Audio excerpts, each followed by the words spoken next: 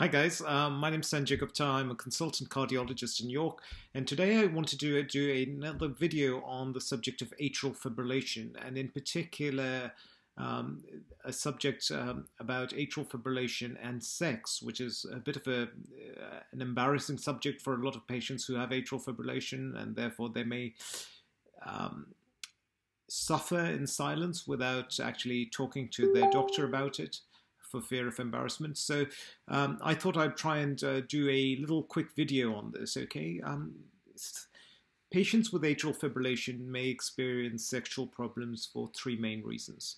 Number one, anxiety about whether they may be harming their heart or risking making their AF worse or bringing on an attack of AF.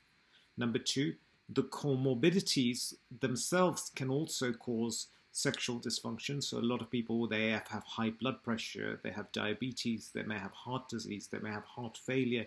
And those conditions in themselves can cause sexual dysfunction. So, you don't have to have AF if you just have um, those comorbidities. Uh, then that can also cause sexual dysfunction.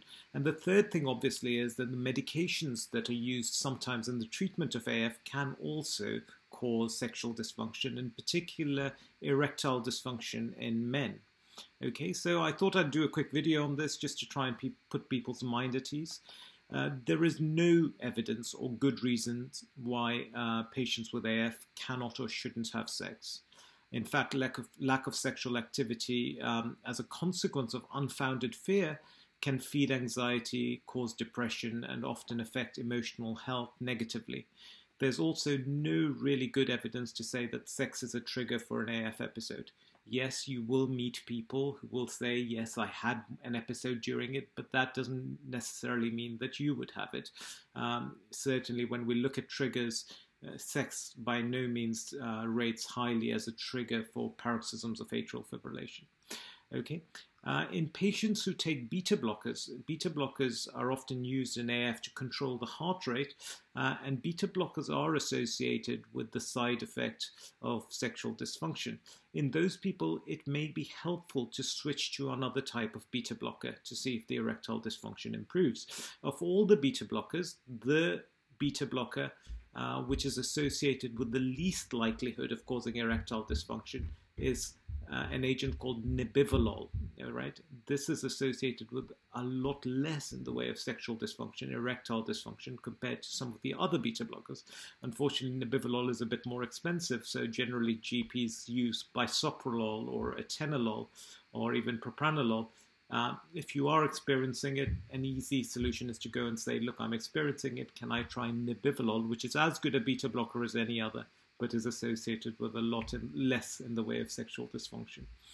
Patients with AF um, can use Viagra safely, uh, provided that there are no other contraindications such as the concomitant use of nitrates or nicorandil.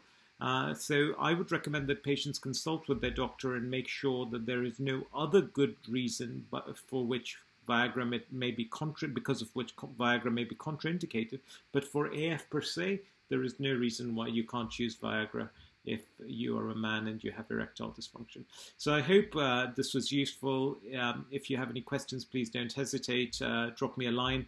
On my website is yorkcardiology.co.uk. As my workload's getting um, more and more, I'm struggling to keep up and answer all the queries. So one way you can get in touch with me is um, send me a message or you can book an appointment to speak to me over Skype and uh, that way we can have an interactive discussion. I also have a Facebook page, which is York Cardiology One.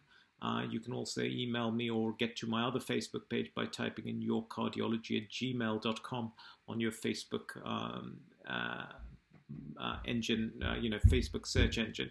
Um, the only other thing I would say is that I'm going to be putting out a lot more videos soon, uh, and in particular, I'll be putting some videos on my Facebook page, some videos on my YouTube page the one thing that gives gives me great happiness is if you'd consider sharing the videos because uh, that just makes me feel so appreciated and empowered. So I'd be very grateful for that. Thank you so much. All the best.